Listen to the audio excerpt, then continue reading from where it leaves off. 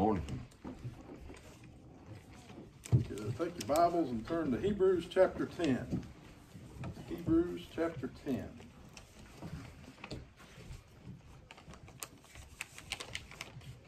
And Another beautiful day that God's given us. Amen. Another time to be in His house.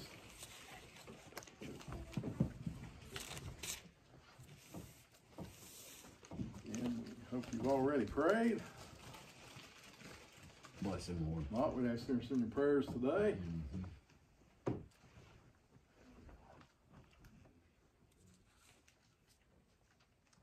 If you find your place, Hebrews chapter 10. We want to start re- reading at uh, verse 36. Hebrews chapter 10, starting at verse 36.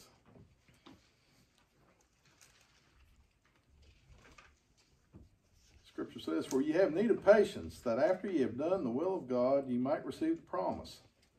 For yet a little while, and he that shall come will come, and will not tarry. Now the just shall live by faith, Amen. but if any man draw back, my soul shall have no pleasure in him. But we are not of them who draw back unto perdition, but of them that believe to the saving of the soul. Mm-hmm. Would ask you if you would to bow your heads. Father, again, we thank you for another day. We thank you Yes. once again for the time to be in your house, Yes. for your precious word. And uh, again, Father, let the message go out uh, over our inability, Father, that uh, those that have a need, that have a burden, Father, those that need to encourage this morning, Father, that it would Mhm. accomplish what it would. Again, guide us with what needs said. We thank you, we praise you, and we ask these things in Christ's name and amen. Amen. Amen. Bless him, Lord. Now the just shall live by faith, but if any man draw back, my soul shall have no pleasure in him. Right, right. Displeasing God. Yeah. Displeasing God. And uh, some are probably thinking, well, this is going to be the shortest message ever, right? Sin. Right? That, that just sums it up, Doug. We could have just churched from home today, like we work from home, like we school from home. It, it's, it's that simple. Well, let's get into it a little more than that. I know it's going to disappoint Mary Kay, but uh, that's all right. She'll get over it, just like Papa says. Okay, but displeasing God, displeasing God. There are those that uh, maybe would look and say, well, you know, that that relates to the Israelites, right? Because because they screwed up is why we have the chance, Bill, to be saved. But it's more than that, folks. Yes, that's right. What applied for them still applies for us. That's right. That's right. Uh, 1 Corinthians chapter 10, around verse 5, it says, But God was not pleased with many of them, and that many of them were overthrown in the wilderness. Yes, yes. He wasn't pleased. He said that, uh, he goes on and says that uh, it, it was written that they uh, sat down to eat and drink and rose up to play. Right, right.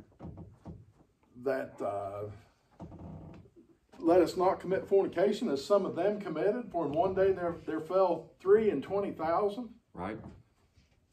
Folks, can you imagine if that applied today?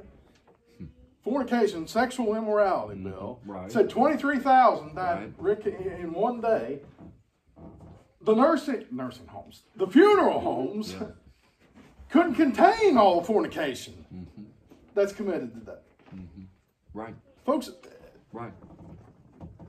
but the rules still apply. Mm-hmm. What was wrong then, Right. still wrong today. Right. He said, Let us not tempt Christ, mm-hmm. as some of them tempted and were destroyed of serpents. Mm-hmm. Right? You recall that, Yes. that the, the snakes came and, and Yep. destroyed some of them? Let us not murmur, Oh man. as some of them murmured Yeah. and were destroyed of the destroyer. Yep. But he goes on and says, All these were written for our examples and our admonition. Mm-hmm. It wasn't that, well, they was wrong and you all don't have to worry about this. Folks, everything in this book is written for your benefit. That's right. Amen. From Genesis to Revelation, everything in here is for your example, for your benefit, for your admonition. And displeasing God. Folks, listen. Doug displeases God. You displease God. I hate to break that to That's you. right. That's right. Bless him. We all displease God. Folks, even David, a man after God's own yes. heart. Yes.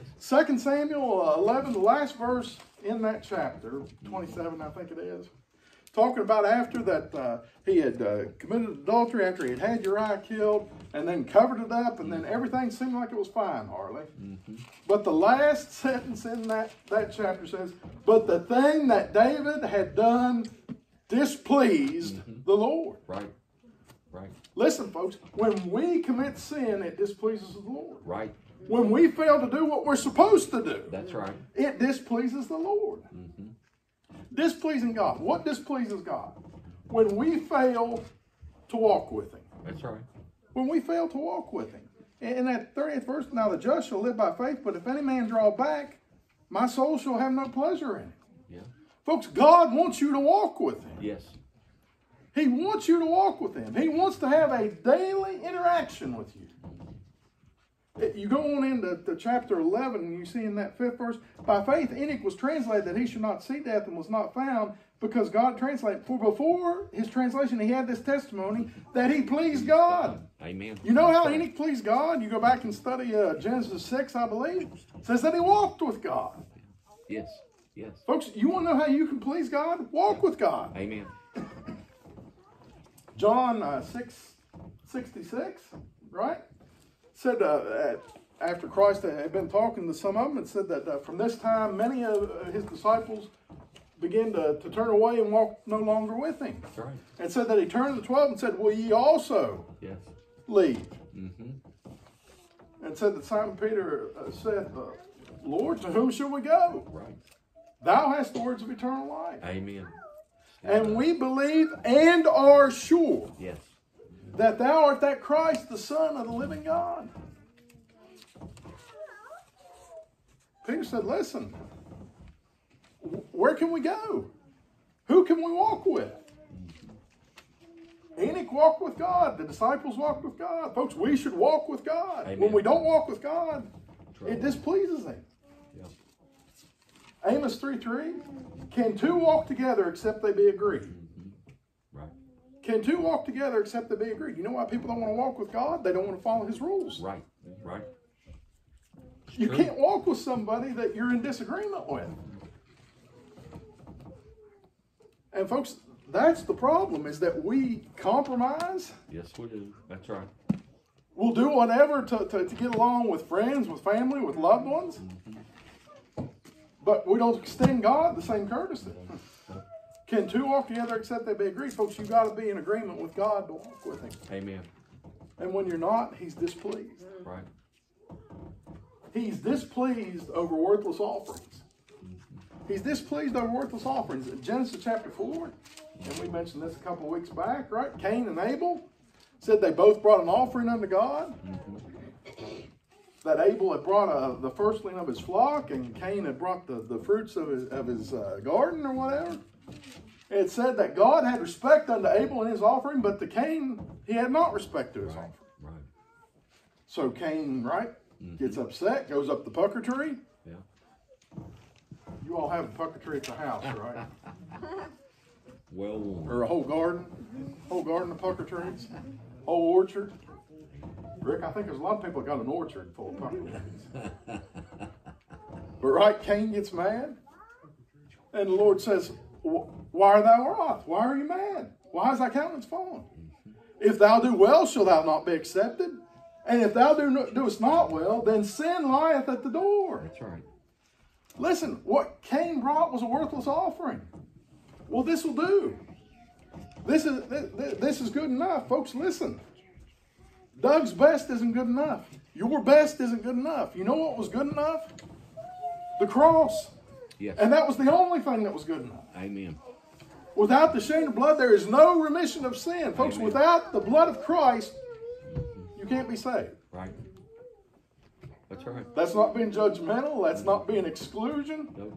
Without the blood of Christ, without his death on the cross, folks, we couldn't be saved.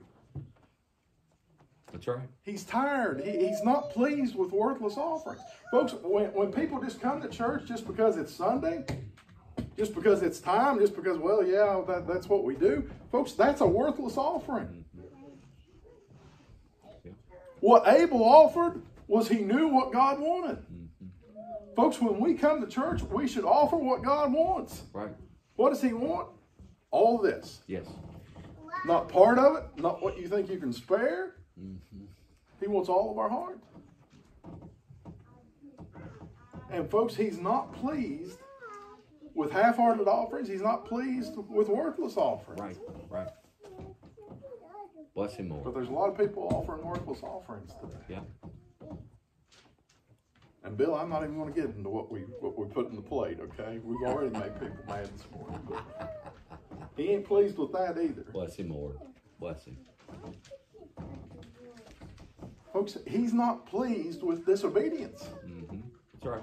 He's not pleased with disobedience.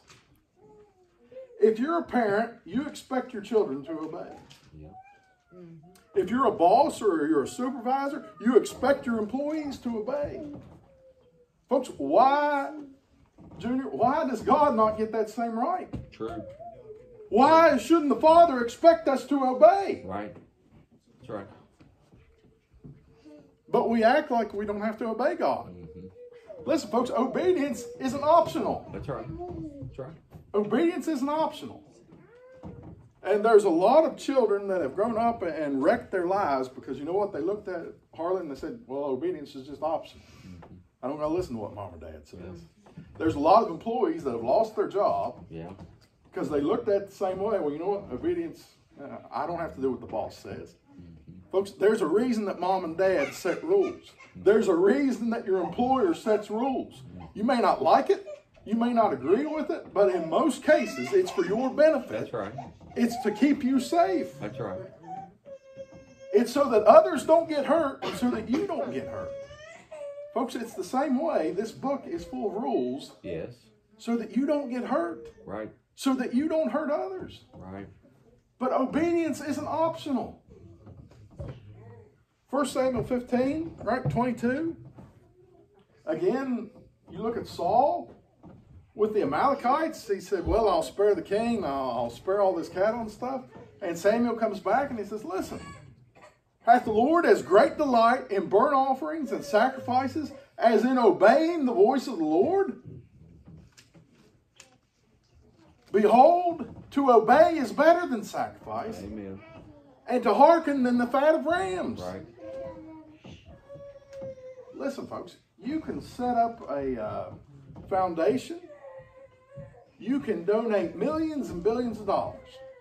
And there are people that have done that. That's right.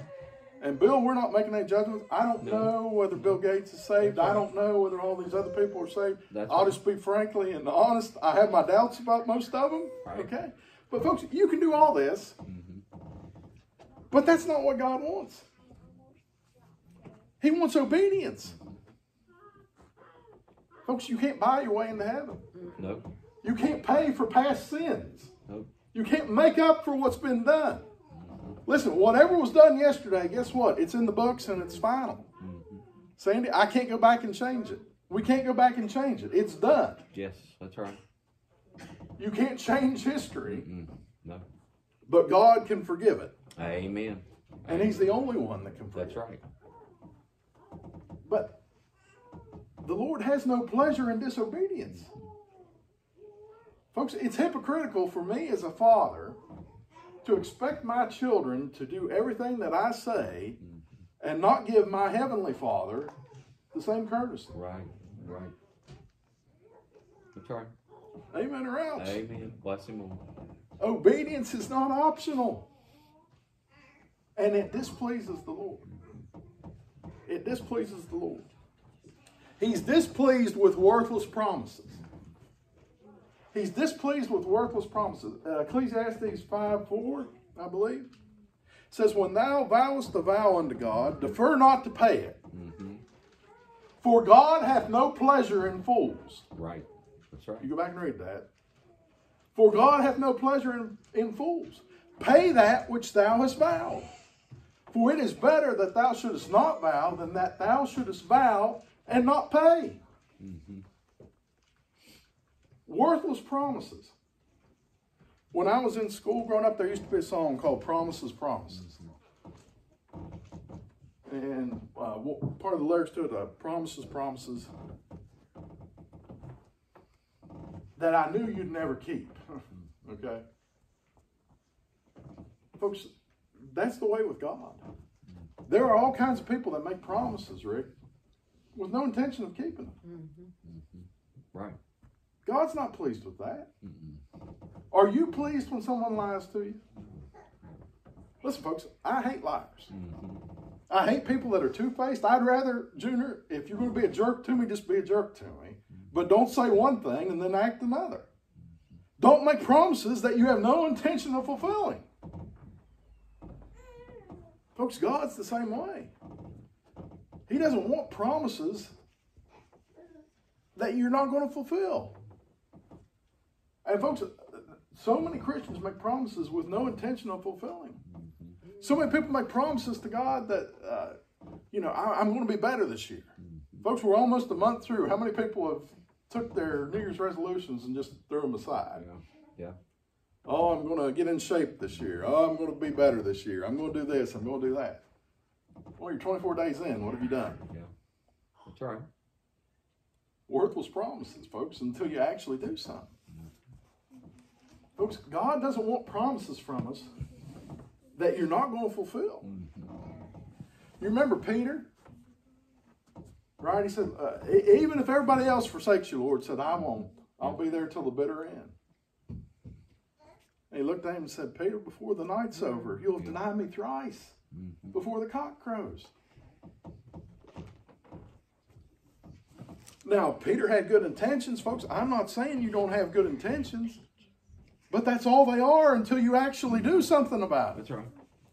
until we actually uh, come through and start living the way that we say, Lord, I'm going to straighten up. Worthless promises. And you remember when the cock crew, it said that they was taking Christ out through the courtyard and they just looked at Peter. That's right. So He didn't say anything. Mm-mm. What did they have to say? Yeah. Mm-hmm. You told me you'd do this. And now look. Folks, worthless promises displease the Lord. Right. Worthless promises displease the Lord. Folks, a lack of faith displeases the Lord. Mm-hmm. A lack of faith displeases the Lord. He, Hebrews 11 6. But without faith, it is impossible. Right. That's You might want to highlight that in your Bibles. But without faith, it is impossible to please Him. For he that cometh to God must believe that He is, and that He is a rewarder of those that diligently seek Him. Right.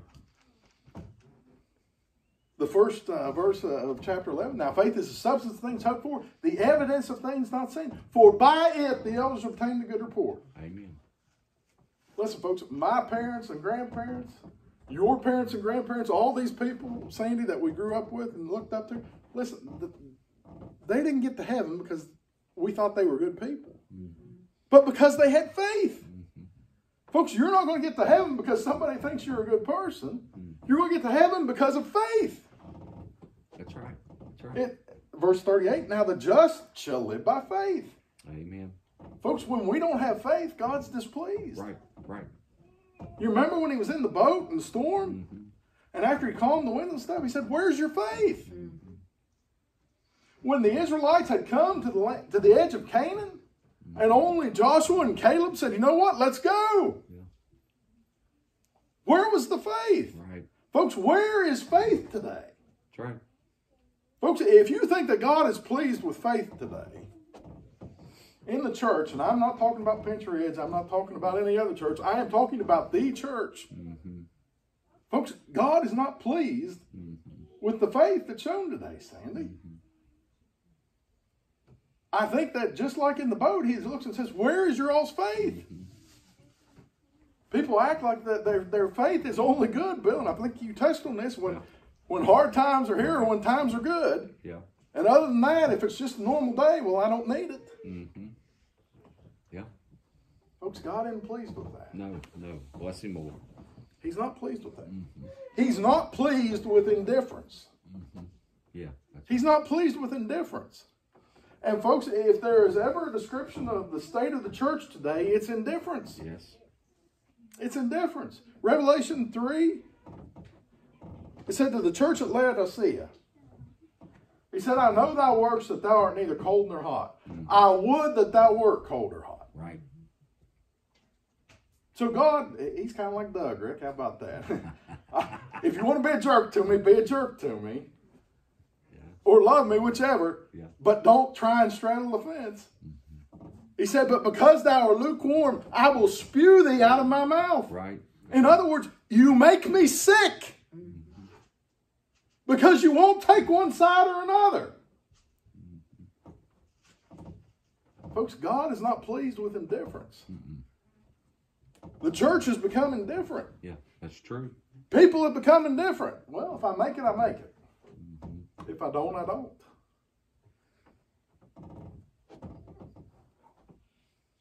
Mike, if we felt that way about our jobs, we wouldn't have one, Yeah. That's right. right? That's right.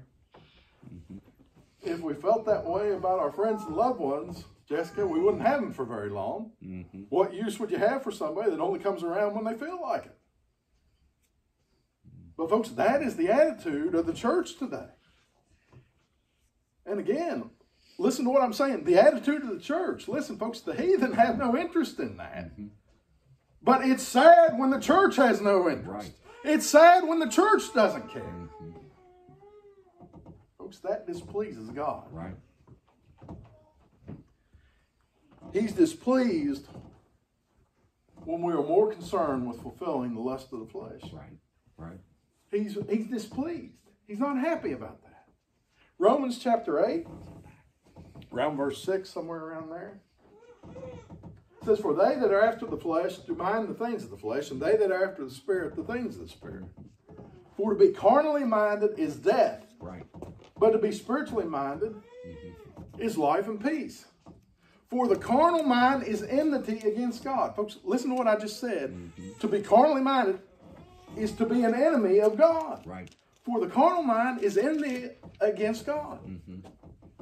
For it cannot be subject unto the laws of God, neither indeed can be. So then they that are in the flesh cannot please God. Right. That's right. Romans 8 8 might be one one of those that you want to highlight. So then they that are in the flesh cannot please God. Listen, folks, if I come to church every Sunday, but I'm running around on my wife, mm-hmm. God's not pleased. Right. Right. If you're coming to church every Sunday and then stop on the way home to buy lottery tickets, mm-hmm.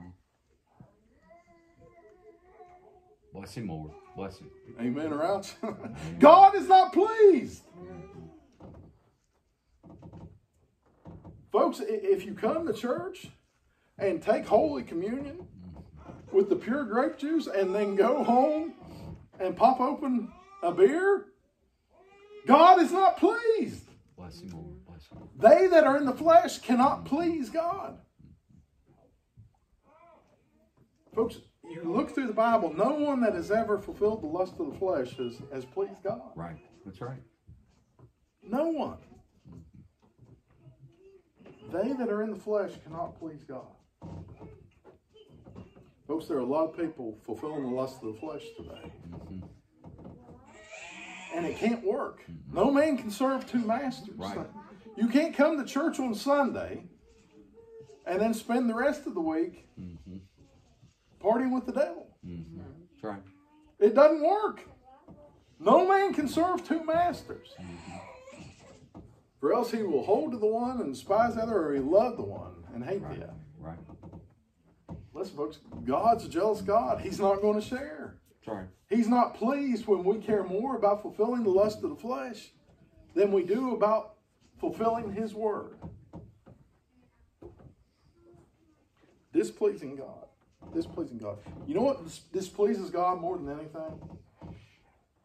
When people choose to perish. Mm-hmm. That's what displeases God more than anything. When people choose to perish. Mm-hmm. 2 Peter 3 9, I believe. So for God is not slack concerning his promises, as some men count slackness, but is long suffering to usward, not willing that any should perish, but that all should come to repentance.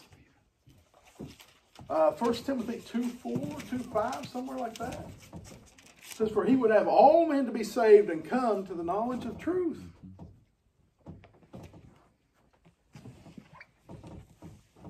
Ezekiel 1832. For I have no pleasure in the death of him that dieth, saith the Lord God.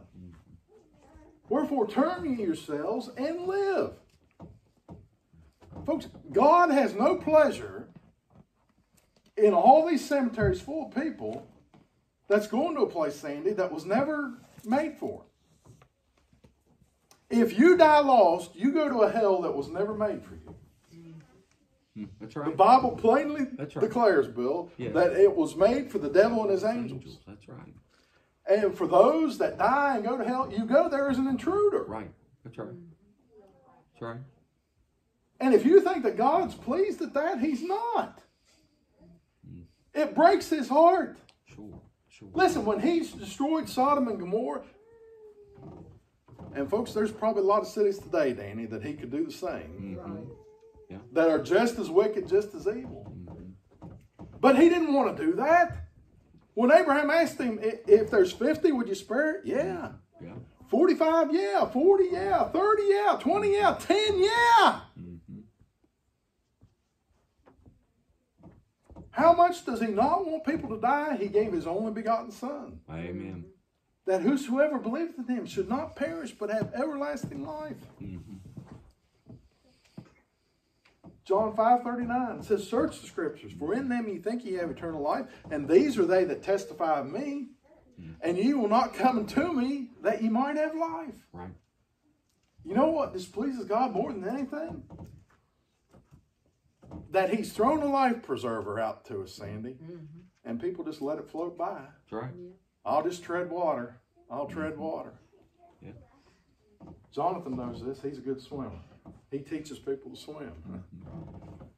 But even the best swimmer, and Jonathan will verify this, at some point they can't tread water anymore.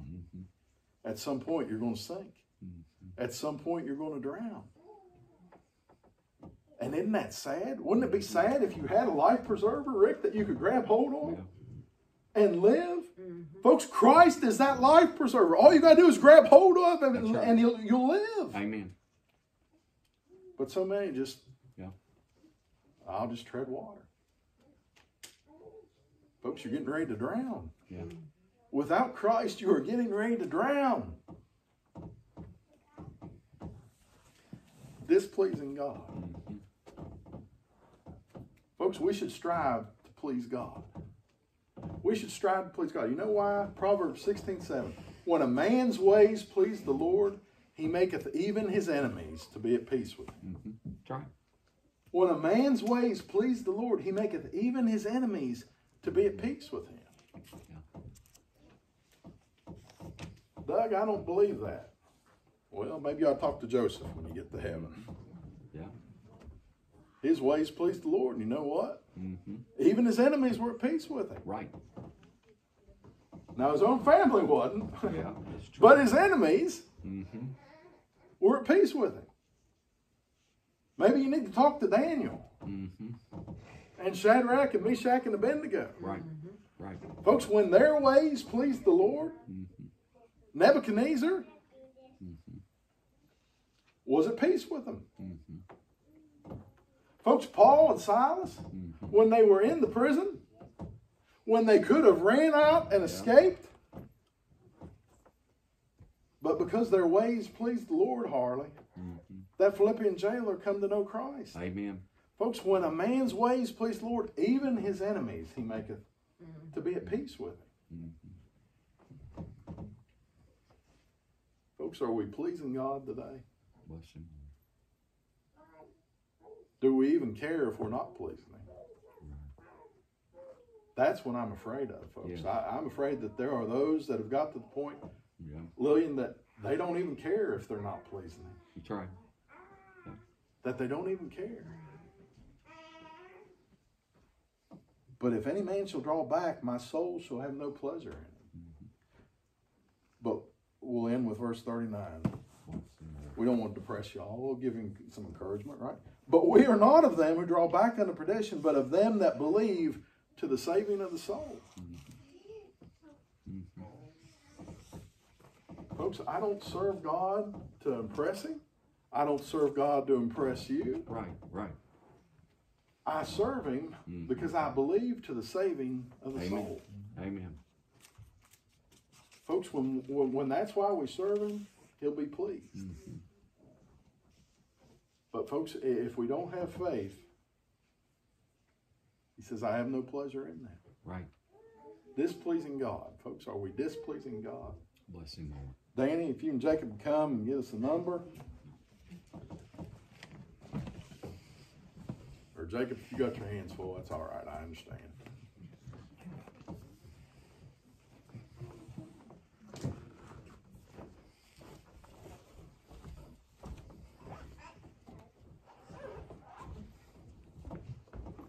Won't be long before you'll actually be seeing Daddy come up and understand what he's doing, you know. Mm-hmm. He's. That's right. But as they get a song, if everybody stand.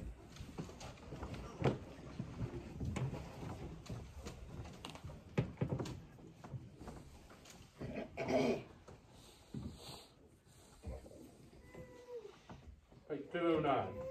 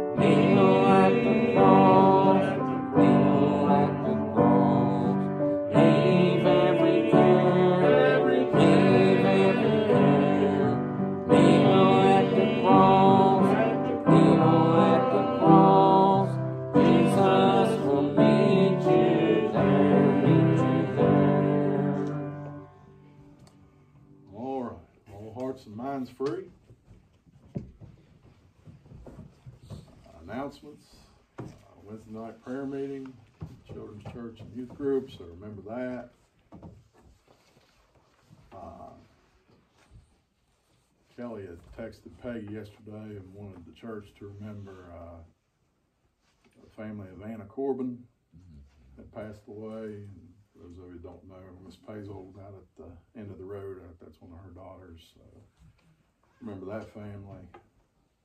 Uh, Sandy's cousin Joe Kennedy, remember that family. Folks, if you don't got anybody else to pray for, there's those that are losing loved ones every week. True. So if you don't have anything else to pray for, pray for that. Anything else?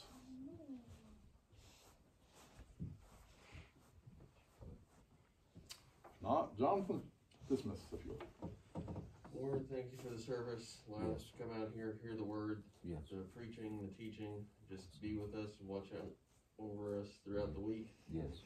Lead us back our next point appointed time. In Jesus' name we pray. Amen. Amen. Amen.